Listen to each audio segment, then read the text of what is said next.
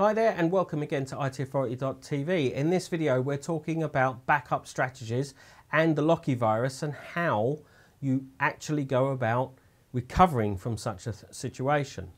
So in a previous video that's been very popular we discussed Locky virus and we explained that you need a good backup strategy because basically the antivirus software can't get you out of the jam once you've been bitten the only way to get around it is to recover your data. Now, if you're not familiar with Locky virus and what exactly it is, then please watch that video.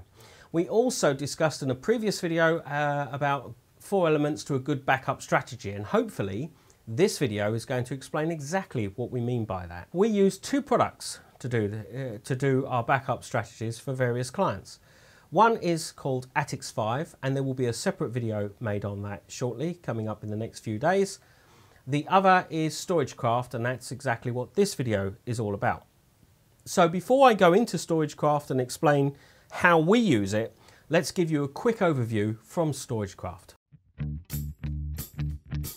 With so many disasters coming your way, how can you possibly recover from them all every time, everywhere? Like this. True recoverability begins before the disaster with the right recovery-focused backup for each system. You know your backups are focused on recovery because you've asked the right questions. Does this system have any special requirements? How important is the data? How quickly does this system need to be recovered?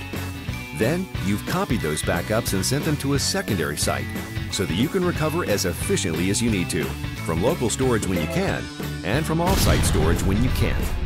Of course, you work with all those backups from a central, easily accessible location, and you manage them to keep your storage costs low and to keep the backups ready for recovery. Then, you test them regularly so that you know they'll work. And you know what? When disaster strikes, they do work, because you've built them from the ground up to recover.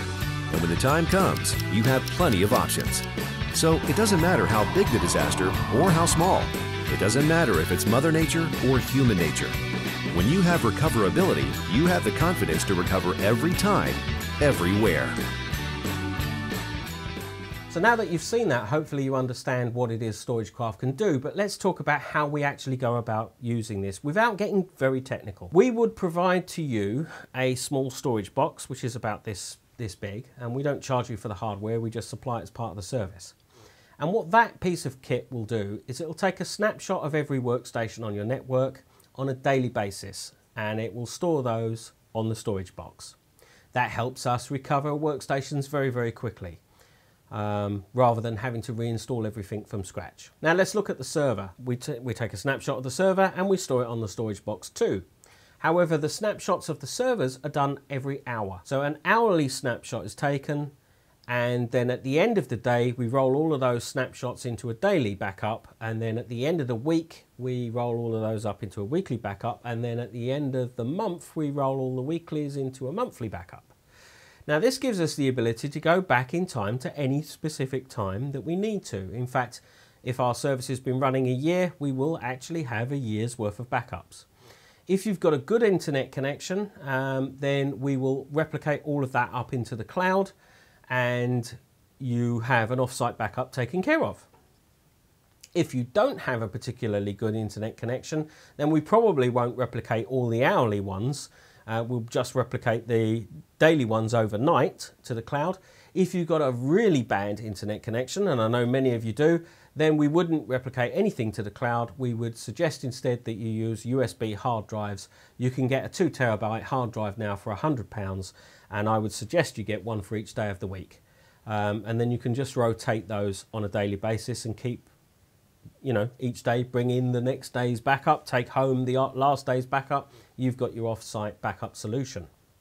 The key element to all of this is that the backups are snapshot backups which means if the Locky virus gets hold of all your data today, or any eh, anything tries to encrypt all the data, or delete the data, or destroy the data in any way, it doesn't matter what's happened to those files today, because we can delete them. We can go back to what they were like an hour ago, two hours ago, three hours ago, a week ago, a month ago, etc. And we can restore everything the full server, the operating system, the lot. That's a product that we use, StorageCraft, and that's how we go about using it. If you'd like to know more about that, then please do contact us. Um, If you found this in, uh, video uh, informative, then please subscribe to the channel. We are doing a live uh, two-day event in the not too distant future. We're hoping in the next two to three months.